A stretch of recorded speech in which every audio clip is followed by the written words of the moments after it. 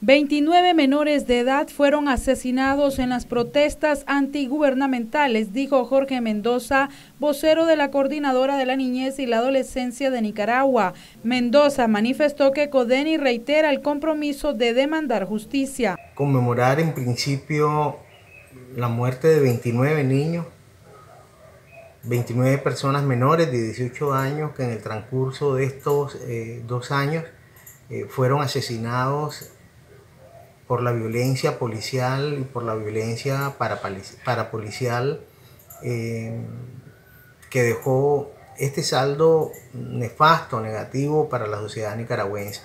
A dos años Codeni reitera el compromiso de no olvidar a estos niños y de exigir justicia.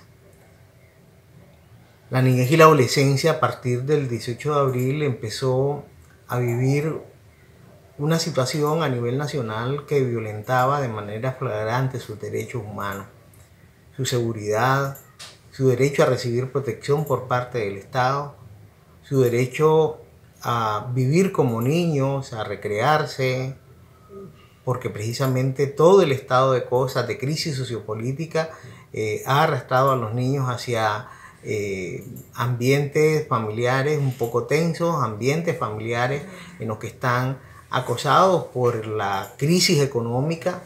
Recordar que cuántos niños se ven afectados a partir de que más de 300 mil padres y madres han perdido sus empleos. Jorge Mendoza también dijo que la crisis sociopolítica que vive el país desde hace dos años ha tenido un gran impacto en la educación. ¿Cuántos niños y niñas han tenido que dejar de estudiar porque precisamente sus papás y, lo hacen bien, consideran que están más seguros en sus casas que asistiendo eh, al colegio.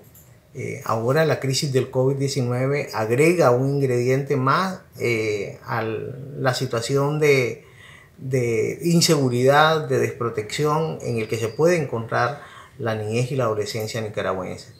A dos años no podemos olvidar, a dos años la sociedad nicaragüense debe recordar a todas las niñas, a todos los niños que en el transcurso de esta crisis fueron eh, asesinados o fueron inclusive algunos de ellos eh, procesados, 18 adolescentes que fueron procesados como terroristas, como golpistas.